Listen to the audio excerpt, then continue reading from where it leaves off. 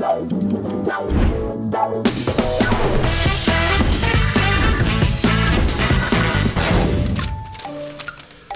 coolest new skill I learned on set was kung fu. Look at look at this leg.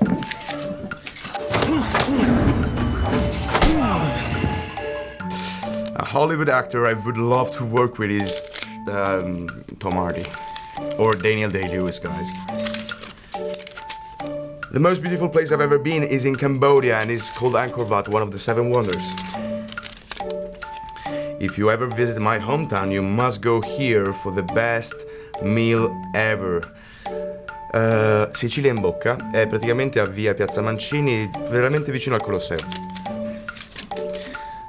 The most difficult word or phrase to say in the English language is uh,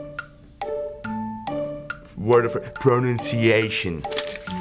And that's it. So uh, watch Marco Polo streaming now on Netflix.